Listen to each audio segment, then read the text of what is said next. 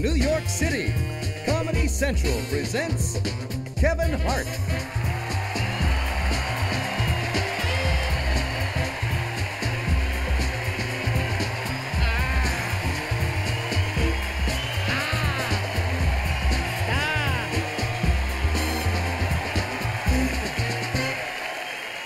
Got me feeling tall up here. Stop it, making me think I'm sexy or something. How's everybody doing? Good? Is everybody good?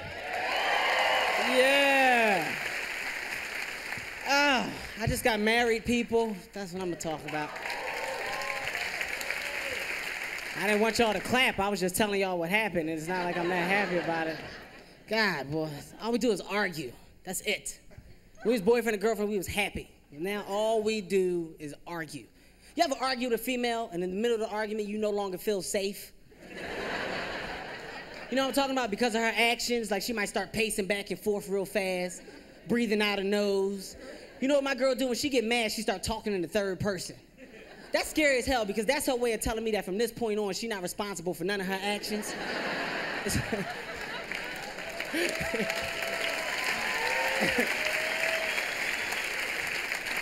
I'm serious though. It's like it's like she forget that she real for like five minutes. She just start yelling, you know. You know, Kevin. You know what your problem is? See, you don't think Tori crazy, do you? uh, baby, I, I thought you was Tori. oh, oh, see, you you think she playing, huh? Wait, wait a minute. I got so scared. I start talking in third person. No, Kevin, don't. He he don't think she playing. He he just don't know where she at. It's dark in here. He can't see her. He, he don't like this game. He don't want to play this no more. She knows how to push my buttons, man. God, she gets mad. Like I remember she told me one time that I better not come home and go to sleep. the hell is that? You know? How you supposed to be in love with somebody? You tell them that they better not come home and go to sleep. She told me she was gonna choke me with a dirty sock until my eyes popped out. a dirty sock? Damn. That's not even a weapon. I was pissed off because we had clean socks right there in the drawer. You can't grab a clean sock at least? She's selfish too, man. That's another thing that irks me. She's real selfish. Like, you know, everything has to be for her or about her, you know. Like, nothing could be for me. You know, we the same height, so we were the same size and clothes, you know. Every once in a while, I lend her a shirt, a pair of jeans. I don't mind, I'm a nice guy, you know.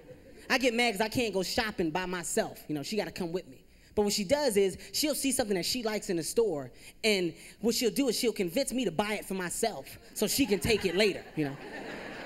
I'm just too stupid to figure it out at the time, you know. Oh, babe, you know, you should get that shirt. That's nice. That's cute. That'll look good on you.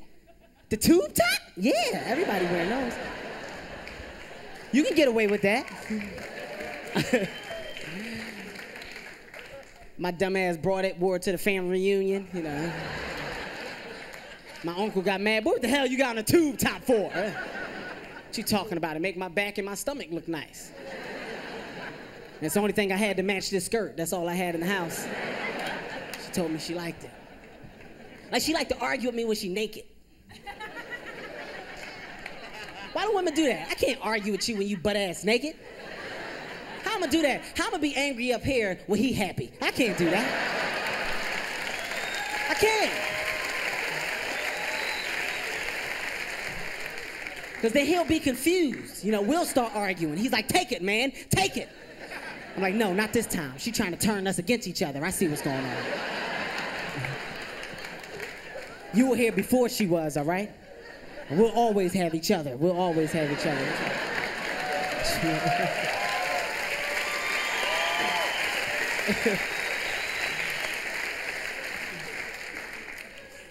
I remember one time she got me so mad we got into a fist fight. We actually got into a fist fight. I'm gonna tell you something. You know how you know when you lost a fight to your woman? When the cops come to your house and ask you, do you wanna press charges? That's how you know it didn't go like you planned, you know. Because the cop came and he was so worried. He's like, oh my God, who would do? Listen, sir, are you okay? Do you wanna press charges? And I was like, well, you need to be asking her that. He's like, well, from the looks of things, no, I don't, okay? Look at your face for crying out loud. And she was in the background like, yeah, look at his face. Tori beat his ass, didn't she?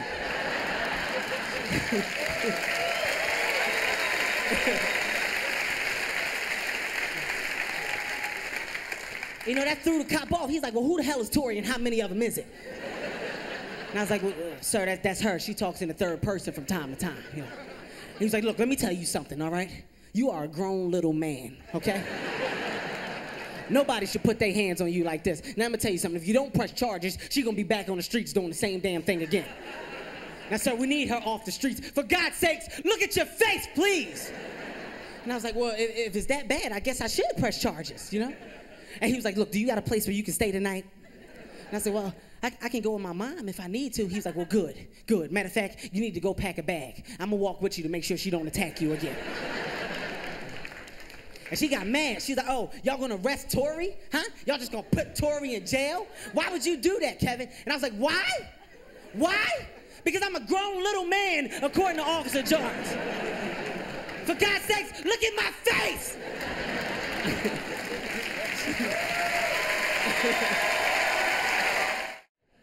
I had to break up with after that, though, man. We broke up for a little while. We did. Broke up for like two weeks. I was single for two weeks. I tried to date everybody in the world. I swear to God, I did. I was lonely, though, man, because I'm gonna tell you, you ever notice that when you're in a relationship, everybody wants you. Everybody, everybody want to talk to you. But the minute that you're single, don't nobody even want to look at you, you know. know how I knew I was becoming a loser? I went to the movies by myself. Oh, shut up. I went to the movies by myself. That's how you know when you're at that ultimate loser point in your life. Especially if you go see a comedy by yourself, you know. Because you can never laugh by yourself. You got to intervene with someone else's date.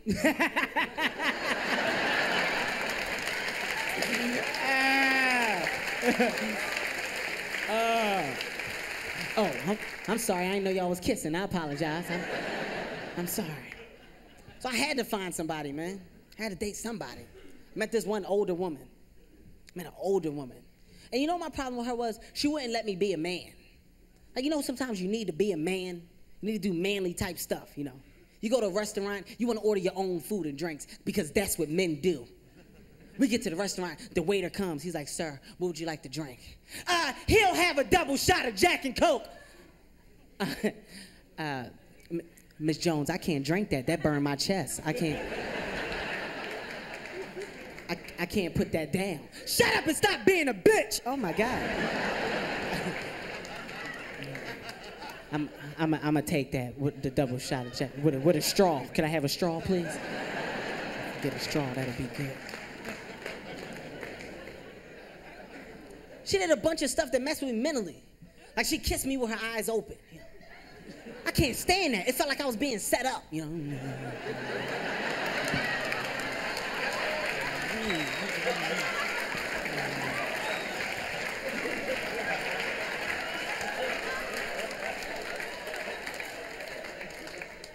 the hell do you see? Is Tori in here? Where is she? Come out, Tori. Just irked me a little bit. You know my problem is? I think I try to impress women too much. That's a big problem I got. I do. I really do. I try to impress women way too much. Like, I went out and bought a big ass truck just to impress women. You know. Did you know that everybody looks tall in a truck? Did you know that? I didn't know that.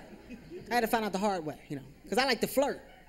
And one day I was at the stoplight and I saw this girl. I was like, damn, baby, you look good. Why don't you pull over? Let me talk to you for a second. She's like, all right, he kind of cute. Her, her girlfriend high five. They was happy, you know. She's like, all right, well, get out. Come talk to me. Now I can't get out my truck, you know. I gotta jump out, right?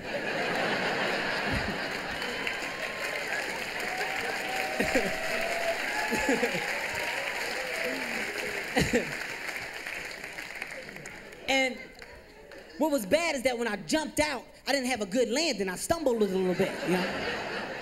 And all I heard was, "Oh my God, he doesn't have any knees," and they just pulled off.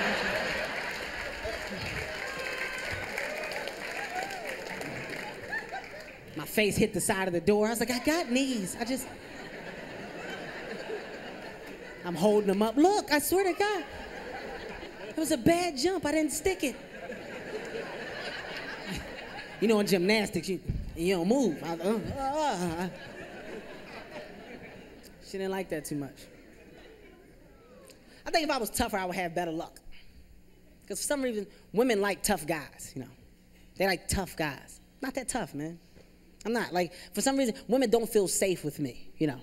Like, so you're kind of a big guy. If a woman sees you, she'll say, Oh, I can't wait. If something happens, I know I can just grab you and we'll be safe. It's not really the same with me, you know. It's like, if something happened, we should both get the hell out of here. we should just run, that's all. You know what? You're right. I, yeah, we should. Tell you what, I hope you fast, because I am. I'm going to get the hell out of here. just not tough enough, man. I'm not. You know why I think I'm not that tough? Because of my mom. My mom was real religious, you know. My mom was strict bringing me up. And because of that, yeah, I'm a little sweet little kid. I'm a mama's boy. I really am. The thing is, my mom is over religious. God, she's over religious. You ever meet somebody that's over religious? Talk about God all the time? Or blame everything on the devil? You know, that's my mom. Everything is the devil's fault, you know. Baby, that ain't nothing but the devil. That's the damn devil, baby. That's all that is. And it's like, it's at the point now where you can't have a conversation with this woman because if you say something she don't agree with, she make it seem like it's not you talking, it's the devil, you know. And I had to explain to her, I was like, Ma, you gotta understand, I'm older now. I got my own opinion, okay? I'm not gonna agree with everything you say. Sometimes I'm, I'm gonna think what I wanna think. And I know where she started yelling. She was like, let him go, devil. What? what are you talking about? Let him go, devil, take me instead. You talking about? This ain't the devil. Yes, it is. My baby would never talk to me like that. And she started flicking holy water at me, right? Just like that. And when she flicked the holy water, I got mad and cursed. I was like, Ma, you know? This is bull. I'm leaving. And she flicked some more and it got in my eye. And when it got in my eye, it started stinging. I was like, oh my God, it sting. I might be the devil. You know, I was like, ah.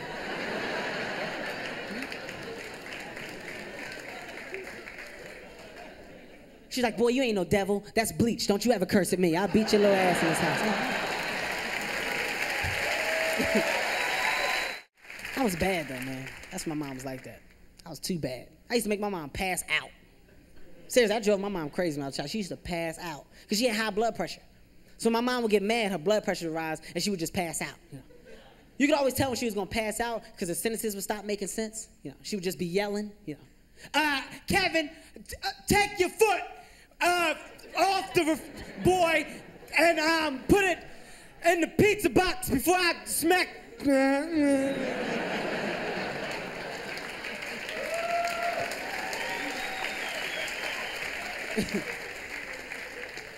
she would just pass out all the time. I just wish I was smarter, man. That's all. I wish I was really smarter. Like I wasn't that smart as a kid. I was dumb. I was. I can admit it. I don't care. Think what you want to think. Not that many people are honest with themselves. I was dumb. I was. There, there. I said it. So what?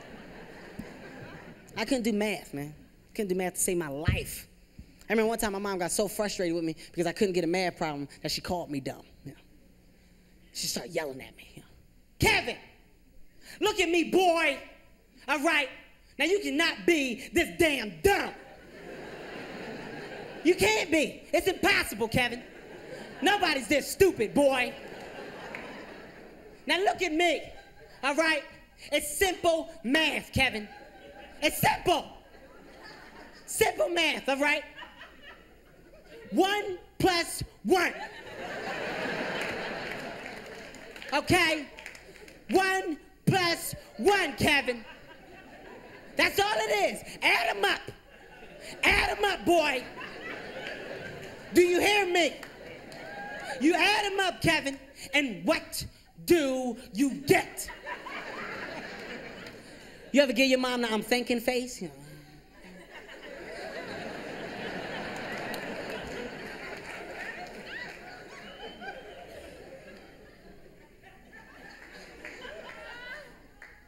Uh, th- 13, 14. Boy, shut the hell, shut, shut up, shut up, shut, uh, shut up.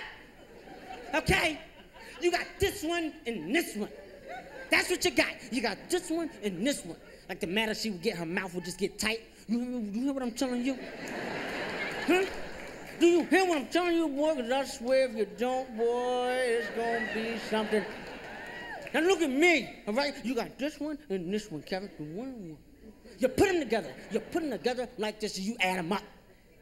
Add them up! Okay? You add them up, Kevin. And what do you get?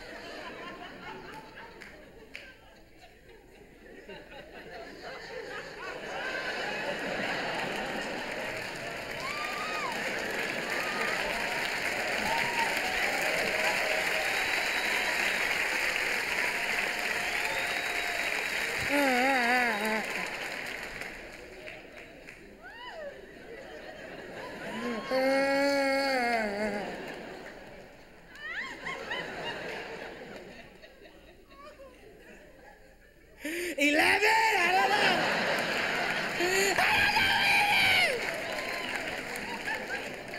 Eleven. I know damn well you ain't gonna uh, up work every. And what if I come back?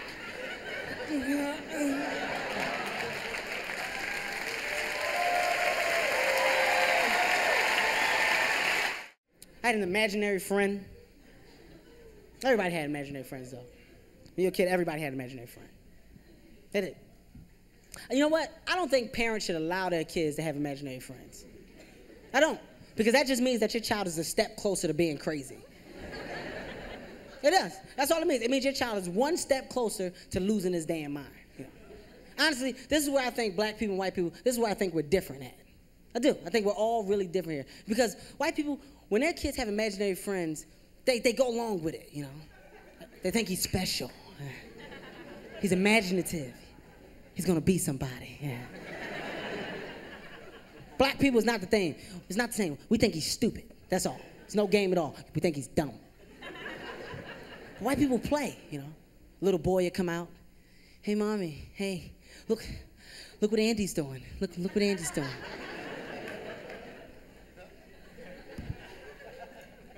well, where, where is he, honey? I don't see him. Is he hiding from me? I don't.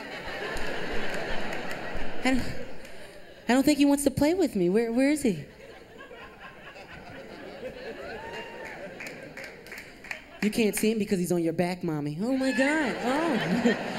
Oh my God, he's heavy. Wow, look. I can, I can, I can barely stand up. Look at my legs shaking. Oh my God, he's, he's so heavy. Is he hungry, honey? Let's, let's feed him brownies. Let's go feed him. The mom bakes brownies, comes out and feeds them. Here, does he like them? They fall him on the floor. he loves them, mommy. He likes them. It's great. Now I don't give a damn what you say. Anytime a child comes at you and stares at you without blinking, get the hell out the house. Something getting ready to happen. He got a bomb or something in there. Run. That's all I'm saying. But it doesn't happen the same with black people. It's not the same, you know. Black people is different. A little boy will come out. You know. Hey, hey, mom. mom. Mom. Because black people don't really listen to their kids that much. You know. Mom! look, look what Malcolm doing, Mom. He crazy? Look at him, playing and stuff. Look how crazy he is.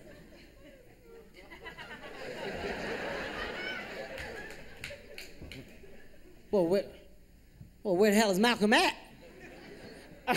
he, he right here on the couch telling me jokes and stuff. He's silly, Mom.